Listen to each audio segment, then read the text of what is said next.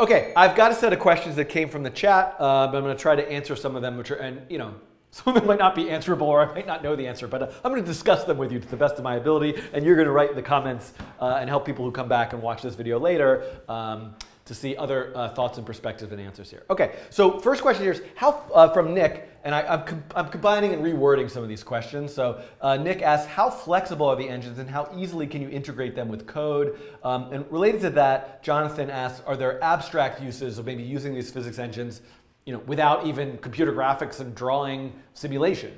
If we come back over here, and I think, you know, in some ways there's a different answer for a lot of these uh, questions. One thing that makes Box2D difficult to work with is Box2D is actually, in many ways, it's sort of a silly word to use, but a, a very pure physics engine. It knows nothing about computer graphics and pixels, and its units of measurements are actually meters, seconds, real world measurements. Now, it's there's some nuance to this because it's sort of finely tuned for small units of measurements.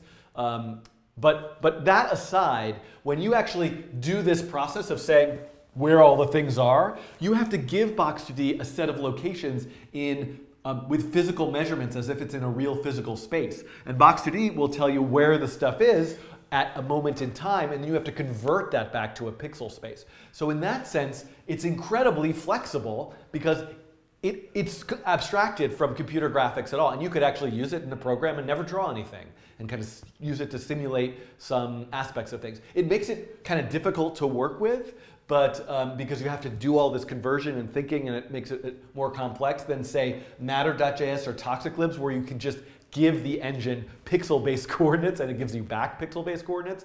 But um, it does give it a sort of level of sophistication and perhaps even accuracy, you could maybe say. I mean, you know, I'm not expert enough in the, the, lower level mechanics of all these engines to really say which one's more accurate than the other, but, um, but that certainly is an aspect of this uh, uh, for sure. Okay, let me come back and see what the next question is. Uh, Flip Kid MC asks, can you use multiple engines at once? You absolutely could.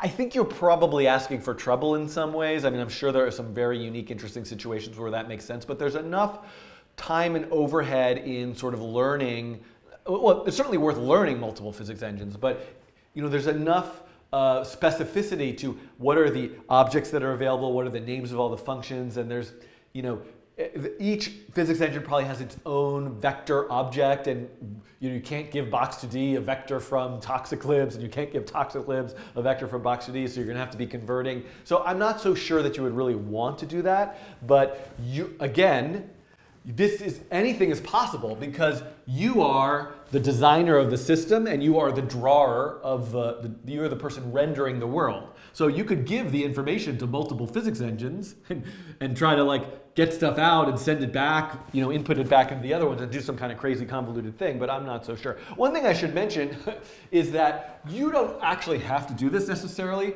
Matter.js and um, for example, I know very specifically has a kind of automatic debug view. So you can just say to Matter, here's a canvas. Draw where everything is on the canvas. It, behind the scenes in its code has the ability to do that. But my point of view in showing you these things is really to focus on how you draw the stuff yourself because that's where you can really layer in your own design sensibility. And that's kind of one of the questions here. Um, I'm going out of order here, but uh, Albert asked, like, can you use shaders and how can you really put your own design? It really, that's, a really key aspect of being creative and working with physics engines and, and making something that's not just looking like a demo. so all of my examples are demos because I'm taking, I'm taking the physics uh, engine and kind of drawing the literal pieces of it on the screen in kind of um, literal way. I'm overusing the word literal. but um, but I, am just saying, what's in the physics engine? Let me draw uh, exactly what's in the physics engine as sort of simple geometric shapes. Whereas there's no reason why you couldn't make fuzzy textures and blend modes and do all of your creative drawing using the coordinate and geometry information that's coming out of the engine. Okay, what else do what else what else do I got here on this uh, question? So uh, this this performance considerations is absolutely a big one. So one of the nice things about using a physics engine is that you know assuming it's something that's worked on by a lot of people over a long period of time, uh, you know all the ones that I'm talking about are open source engines that are, uh, most of them, the source code is on GitHub and have a wide variety of contributors. but probably for, you know, people have been working for years on optimizing them. So in, in many ways, it's going to be more efficient and have higher performance than what you might throw together in a day. That said, these types of computations are expensive. To look at every object in a system and, wh and where, how it's colliding with every other object, and it's going to have some kind of complex polygon geometry. So, you know, there certainly is a slowness here, but, you know, Box2D is very efficient, runs very fast, especially if you're in C++, but it's going to run a lot slower in the canvas and the browser. Drawing is slower. So, you know, yes, there are performance considerations. You know, could I sit here and like talk about them for, I'm like asking myself questions now. I, the answer to that is no. Like I, I'm, that, that I think merits a kind of a lot of trial and error and, and digging into the source code and seeing where, how things work best. Okay. Um, Nick does not deserve credit for the first question. So I don't know who, who asked that question. It was a great question, but it was not by Nick. Thank you. Uh, and um, let's see. Um, do some simulate more accurately than others? That's, you know, that's another consideration here. There's usually often a trade-off, right? It's going to be slower if it's more accurate. it's going to be faster if it's less accurate. Uh, apparently that question is from Ga Gabriel, perhaps. Um, and uh, can you, okay, another question here is uh, from Philippe, how to use, for, this is, uh, I reworded this question, but how to use forces with physics engine and can you control velocity? So this is a big question, which I will cover and look at in a lot of my examples. But the question really is, I kind of set you up in this way of like, hey, let's put stuff in the world. It's in the world. Now let's go over here. Let's read where the stuff is and let's draw it to the screen. But what if the thing that's in the world, I want to control how it's moving, or I want to like add a force into the world that's going to affect the way that the world is behaving. So most of the physics engines are going to have a mechanic for this. For example, the body object, you create this body object, you put it in the world, you can keep a reference to that body object, and later you might be able to call a function called like add force or apply force to cause the body to experience maybe a sudden gust of wind, for example. There's another, uh, there's a question though, it's like, well, what if you want to affect these not with a force, but by actually saying, hey, I want this object's velocity to be this. And yes, physics engines will let you do that because, you know, number one is you can just kind of dig into the source code. They're gonna, body's gonna have a variable in it somewhere that's like the velocity, you could set it. But you have to watch out, the big problem here, it's very easy to violate the laws of physics a, with a physics engine. It's kind of hard to do that, although I would love, that's a good like real world challenge, let's violate the laws of physics. I'm sure that would be an exciting YouTube video get lots of views.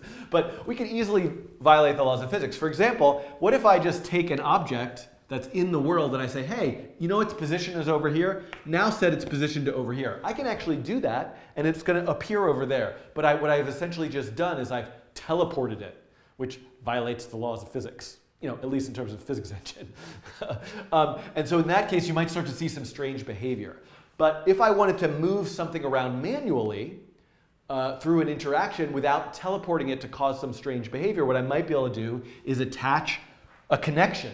Maybe I attach a connection to the object and I connect it also to my mouse and then I move the mouse around and I'm tugging it around, almost like I've attached a string to something and moving it. So that's a way, that's one strategy for um, moving something around through a, you know, a Perlin noise algorithm or through user interaction by uh, still staying within the sort of laws of physics of that world. It depends on how the physics engine works, but this is certainly a common problem. And another, it's, that wasn't really a question I added to my list. Another very common thing about physics engine is, oh, it's doing all this collision stuff for me. That's great. Yay, I don't have to do the collision stuff. But what I really want is when they collide, I want to bing, play a note of music or something. So if you want to do that, you have to know when the things collide. And that's happening in here. How do you know when it collides? Well, you could say, okay, well, what I'm going to start to do is I'm going to look at all the things. I'm going to look at where they are in relation to each other. And when they're, when they're within a certain distance, they must be colliding. But then if you go down that road of thinking, you've completely defeated the whole purpose of using the physics engine. You're starting to re-implement those collision algorithms yourself. So most physics engines will have this idea of a collision listener so you can write a callback function or some, uh, create some type of object that sits there and tells you information about, hey, there's been an event, these two things collided, here's object one, here's object two, here's their properties, you know, what are you gonna do about it? Like, oh, if it's a purple object with a red object, it plays, you know, C. If it's a green object with a pink object, it plays the note D. So you can, you, you're going to want to look for something like a listener to be able to also not just extract where the things are that you want to draw, but to extract moments in time that are certain events like collision events that you want to handle in a certain way. Okay, so I don't, this is like a ridiculously long intro to physics engines tutorial video that I can't imagine anybody really wanted to watch.